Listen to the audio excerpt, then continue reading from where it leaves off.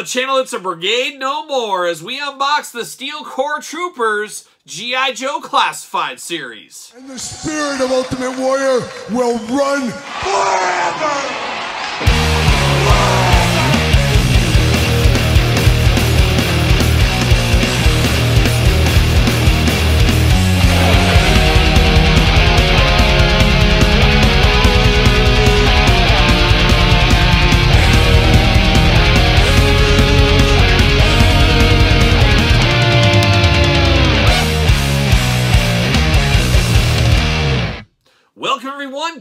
Here, and welcome back to the channel for another G.I. Joe Classified series unboxing and review. And today on the channel, we got the fan channel exclusive. We got the Steel Corps Troopers. But for all your Steel Corps Trooper needs and a whole lot more, make sure you're hitting up Entertainment Earth. Use discount code Kyle. Save yourself 10% on all in-stock items. Anything over $79, guess what?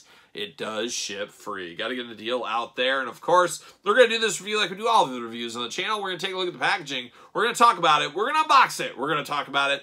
We're going to see where it goes from there. And we get another Troop Builder pack. We've had Troop Builder Ninjas. We've had Cobra Officer Troop Builders. But now we get some G.I. Joe Troop Builders. And I don't know if you guys are like me. It depends on your fandom, where you came into with G.I. Joe. When I close my eyes, like I do many a night, uh, when I think of G.I. Joe troop builders, I think of the green shirts. And I'm kind of surprised we haven't got one of those somewhere along the line. I guess, you know, we've got them in ReAction. We've got them a few times, but haven't got them in classified yet. I have to assume Super7 will give us them eventually. That seems like money, easy money for Super7. But I have to imagine we will get them uh, hopefully eventually in the classified series. But we get the Steel Corps, which is a little bit more of a fancy army builder, I guess is what we'll say on this one. And nameless soldiers, really, at the end of the day. And one of these sets here, I got to get two of these sets because they have two different heads for each character. And you do get a male and a female here as well, which is very interesting to see.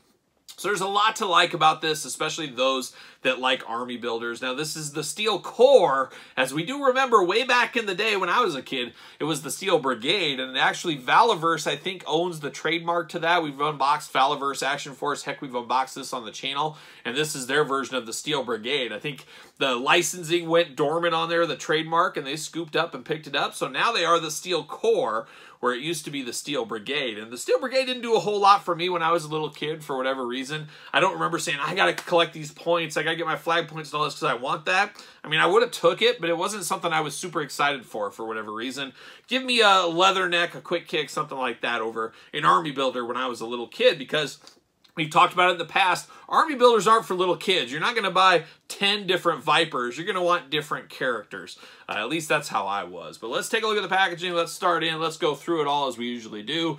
Big accessory uh, strip right there. All kinds of stuff coming in here. G.I. Joe logo across the front. Little glamour shot to the side. And how about that artwork?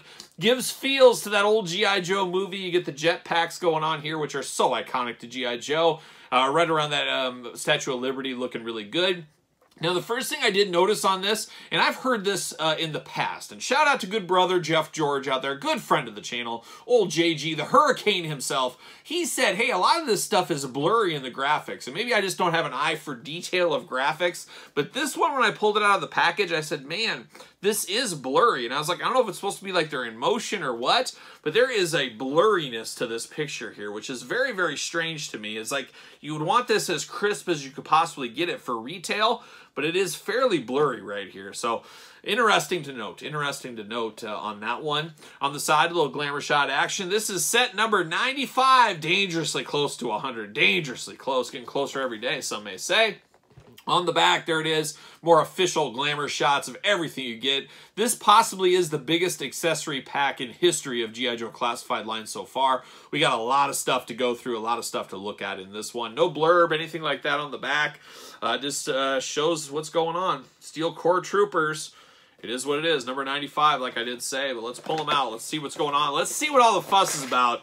And there's always fuss with the classified line. We're always fussing about the classified line. Uh, if you're not, what are you doing here? There it goes. See you later. Bam. There it goes. And then we do get number 95, Steel Corps Troopers. Get the big old locker for them here. Let's see what's going on in these lockers. Pull that out. See you later. Spin on it. Bam. There it goes. Parchment paper all day long. Can I juggle the parchment paper? Uh, kinda. Kinda. Juggling with Kyle. One of my many tricks. Many tricks of the trade. Bam! See you later through the uprights. And there we go. All kinds of stuff going on. We got a lot of work to do with these accessories. Bam! See you later. Goodbye. Let's dive in. I guess we'll dive in with these jetpacks. We get two jetpacks here. Remember just thinking when I was a kid, man, I want these jetpacks. I think they had one, and they had something that was similar to it, but they didn't just come out straight easy to get when you were a kid of these jetpacks. And man, I wanted one so bad for all my Joes to reenact that movie opening, of course. But very, very cool here. They got the same insignia. They're the same thing times two. That makes a lot of sense. All in kind of a greenish, a darkish green color going on here. Forest green, dare I say a forest green. Uh, it's got the American flag, all that looking good. But definitely an iconic, iconic thing for Joe's. I love this jetpack, and the beauty of this is you can use them with these guys, or you can slap this on Duke. You can slap this on uh, Flint if you want to, Lady Jaye, whoever you want to could have this going on. So that I think is going to be something really cool for a lot of people. Now we do get four of the flame effects here, the smoke effects, and they do pop right into the bottom of this. So you put these guys on a flight stand in the background, they're flying off, they're off to the races, they're going up to that Cobra mothership, they're after that one there's anything you can really do, whatever you want. Whatever your mind says you want to do with these effect pieces. We got the orange there, the cloud of smoke, looking beautiful. I am here for that. I'm here for these jetpacks for sure. Uh, and then you can just have the jetpacks without anything on them if you really wanted to as well.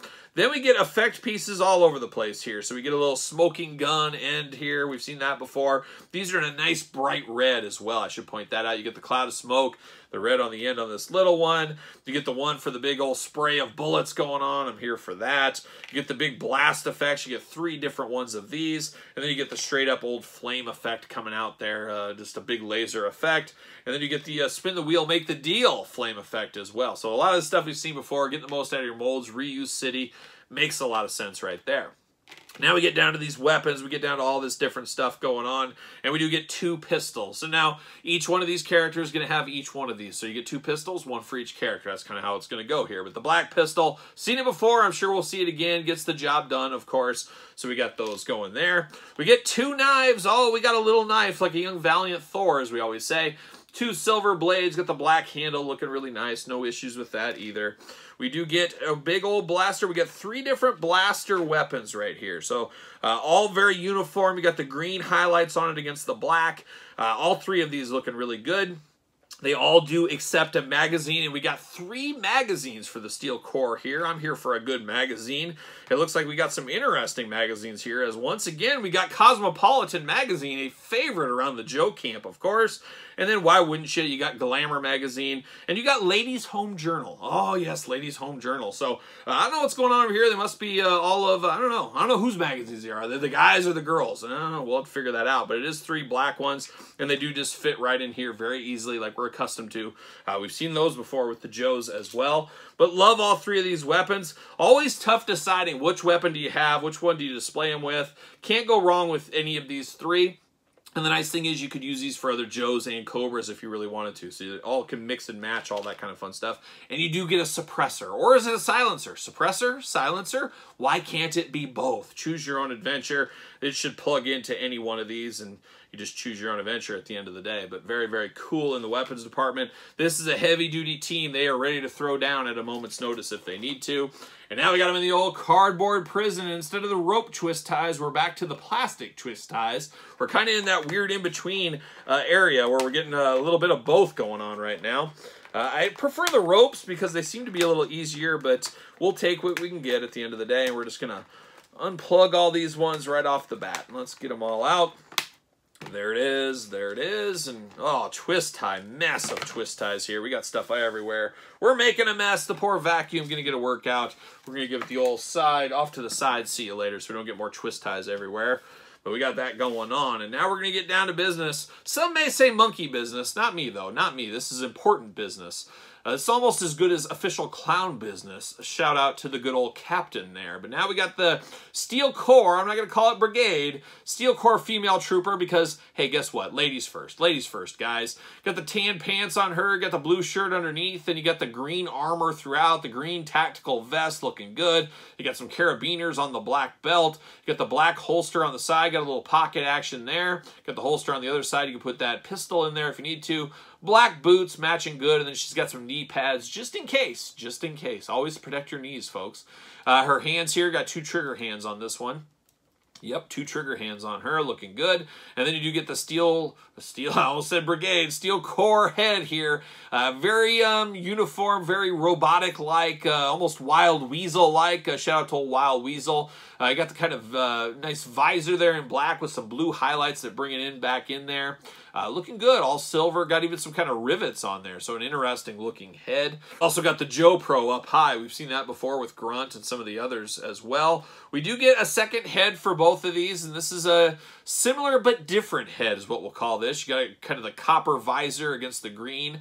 Uh, I think this one might match a little bit better with the greens that are a part of this, but this one goes back to it being an army builder once again. Mix and match, move these heads around, get multiples of these, put different heads on them. Or you could also pop this head off and grab Lady Jaye's head, for instance, and put Lady Jaye in here, and bam, there's Lady Jaye in this costume. Pop this head off, pop Flint's head on there. You got Lady Jaye and Flint in some uh, special armor or something like that for a special mission. You could easily do that if you wanted to. So a lot of opportunities to do stuff like that. You do got storage in the front there for her knife as well. I should mention that. Here, now does she fit on a ringside collectible stand? Let's check that out real quick. What do you know? Fits perfectly on a ringside collectible stand. Now, the articulation can be the exact same between these two, so I'm going to walk through it. Or actually, they are a little bit different. We got the single jointed elbows on her. I thought they were double jointed. They are not. So we got single uh, jointed elbows, side to side at the elbow, hands back and forth, up and down. Got the trigger hand there looking good. Bicep cut is not here. You do get the arms that go around, though. A little bit of butterfly action, head down, head up, side to side, a little bit limited on that head. You do get the waist articulation.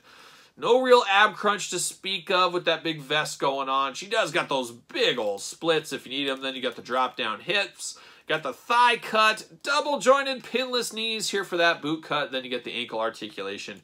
We are so accustomed to, but it is a female trooper, a female army builder for the Joe team. We are here for that. Now we get down to the male counterpart and very similar feel and look to this one here. Just a little bit bigger sized, but First thing I do notice is kind of that Beach Head, and I assume Shockwave in the future. Uh, kind of undershirt going on there in the blue, looking really good. Got the black gloves, the black boots.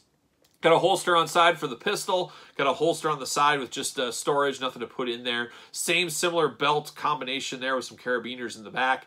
You do get a couple of shoulder guards here. You got to straighten those out, but you do get a little logo action. You got the same one over there. You got some bullets up here that are sculpted in. You got the Joe Pro there, of course, spot to store the knife in the front as well. It's got the knee pads going on, the tan pants, and then you got the green tactical vest, just like the her his partner in crime. Same kind of head here, but of course it is the male head on this one. You can mix it back and forth. Same thing with this, very similar to the female one, just the male equivalent, male counterpart. Makes all the sense. We're used to all that.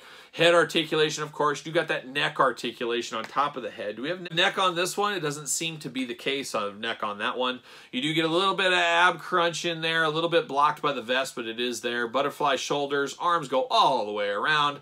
Bicep cut, double jointed knee knees. How about double jointed elbows? But they do have pins in them. That's what threw me off. So we got the pin joints taking a step back right there. And then you get the hands back and forth. Waist articulation. Big old steel corps splits if you need them. Drop down hips. Thigh cut double jointed knees, got the pins in the knees, boot cut, ankles, back and forth, side to side. A little looser on the ankles than I would like them to be, uh, in all honesty. Now, does the steel corps fit on a ringside collectible stand? Use discount code Kyle at ringside. Make sure you get the Mattel stand. What do you know? Fits perfectly on the old stand right there, looking really, really good. So a good two-pack here, a good Army Builder pack. It is a fan channel exclusive, which is a little disappointing because I would love to see this go to retail and maybe a possible clearance, possible deal as you could really Army build this out. With it being a fan channel, there might be some clearances, but probably not a ton compared to your regular Copperhead, Shipwreck, Scrap Irons we saw out there at retail. I did mention the Valaverse one earlier. You can kind of put him right in there. He fits like he belongs in that team, of course, being the Steel Brigade, Steel Corps, Close enough to be dangerous. That's what we're going to call it on this one right there. But a good two-pack, is it great? Depends who you are. If you want to build out the ranks of your Joe team, it is a must-have. But if you're there just for the iconic characters, these faceless, nameless uh, steel corps members, they may not be for you. So it really depends how you're collecting and what you're doing in your collection. But they do got a lot of accessories, a lot of stuff you can use around the bin, like a young CCR at the end of the day. So there it is, the old steel corps. Let me know your thoughts in the comments down below. Of course, you made it this far. Don't forget to like this video. Don't forget to subscribe to the channel. We got videos every single day and then some. We got even more content for you, of course, on the other YouTube channels. There's two YouTube channels to subscribe to, as you guys hopefully know by now. You can also check out the old Patreon for early access to both channels' videos. Don't forget to give this channel the old thumbs up. And don't forget to subscribe on social media. Sirpaul64 on the X, the underscore Kyle underscore Peterson on threads and on Instagram. So for the Steel Corps and the Brigade 2, I'm Kyle. See you all real soon.